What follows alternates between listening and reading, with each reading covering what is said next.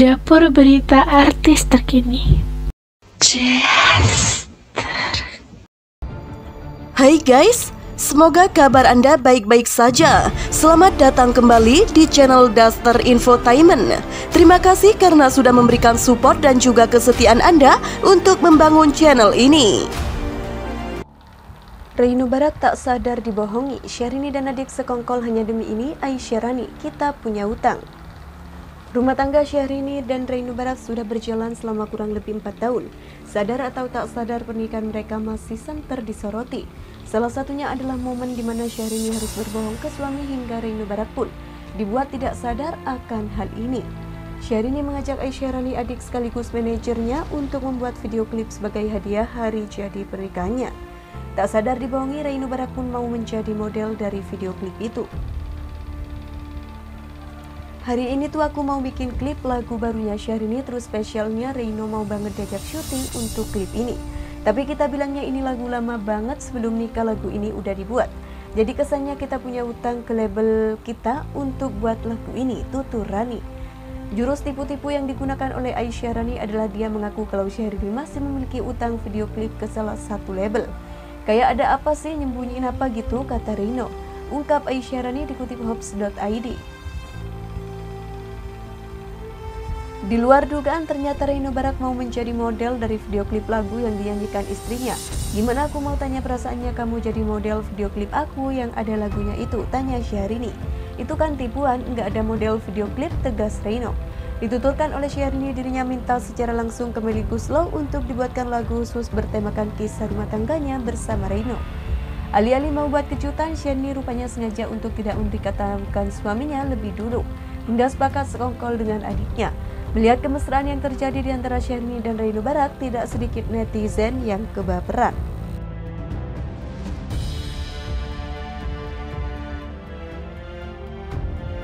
Reino berubah di urusan Syahrini style hingga medsos. Sudah meski ada yang belum terwujud, love you. Barat memiliki penampilan yang berbeda setelah menikah oleh Syahrini Sosok Reino Barat pertama kali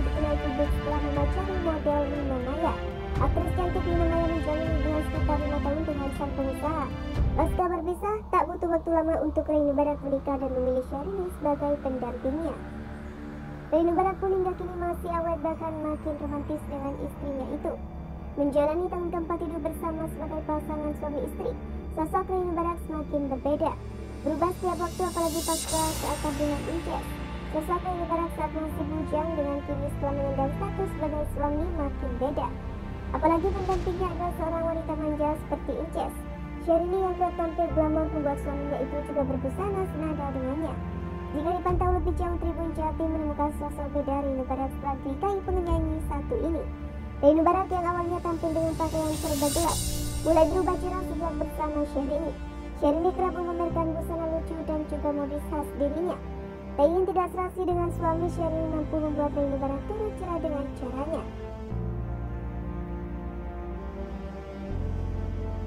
Dipantau Tribun Jatim, semua itu terlihat lewat akun media sosial Inces. Sejak dinikahi Reino Barat Syari dan suaminya menunjukkan penampilan sangat serasi. Bahkan busana Reino Barat sudah tidak hitam lagi, namun berbagai warna. Mulai dari biru, oranye, hijau, putih, kuning, hingga warna yang cerah seperti merah muda. Jika menelisik saat Reino Barat masih bersama Luna Maya dahulu, sosoknya cukup berbeda. Reino Barat terlihat sangar dengan balutan baju serba hitam dan juga gelap. Penggemar toko superhero Jepang itu juga tak pernah benar-benar menunjukkan gaya rambut yang rapi. Dalam beberapa kesempatan Rega Barat Mulan tampil cuek, dia juga menunjukkan dirinya yang berbeda saat masih bersama Luna Maya. Kondisi Reino Barat yang berubah siap diurus oleh Sherly, pakaiannya lebih rapi, kondisi rambutnya lebih tertata, hingga ragam pakaiannya semakin cerah. Reino Barat juga tampak tak lagi menemukan usaha menampilkan Sherly.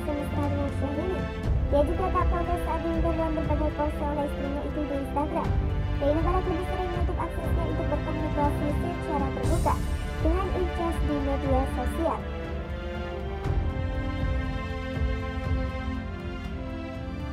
Empat pria ini katanya sukses cicipi Syahrini sebelum dinikahi Reino Barak, Anang Armasya mantan terindah. Kehidupan Syahrini hingga kini masih menarik perhatian publik. Selain memiliki banyak sekali ciri khas yang ia ciptakan, istri Reno Barak ini kerap menjadi daya tarik bagi para penggemar maupun hatersnya. Sebelum menikah dengan Reno Barak, Syahrini terlihat beberapa kali memiliki hubungan dengan beberapa pria. Suami Ashanti yakni Anang Hermansyah pun sempat dituding sebagai pria yang pernah mengisi hati dan juga mencicipi kasih sayang dari Syahrini. Untuk memastikannya, mari simak pria empat pria yang ternyata pernah mencicipi kasih sayang dari Syahrini yang telah dirangkum berikut ini. Yang pertama pria yang akrab disapa Bubu ini merupakan mantan kekasih Syahrini meskipun keduanya terpaut usia cukup jauh, hubungan mereka ternyata direstui oleh keluarganya masing-masing. Hubungan Syahrini dengan Bubu sempat terjalin terjalin cukup lama yakni selama tujuh tahun namun sayangnya hubungan mereka kandas di tengah jalan. Yang kedua, Anang Hermansyah pernah memiliki hubungan yang cukup intens dengan Syahrini. Anang Hermansyah diduga telah menjalin hubungan istimewa dengan pelantun lagu berjudul Sesuatu Ini. Isu hubungan Syahrini dengan Anang Hermansyah beredar pada tahun 2010 ketika keduanya berkolaborasi untuk beberapa lagu. Namun ketika kabar hubungan Syahrini dengan Anang Hermansyah semakin terdengar keras, tiba-tiba saja ayah dari empat orang anak ini memberikan klarifikasi bahwa keduanya hanya sebagai partner kerja di panggung saja.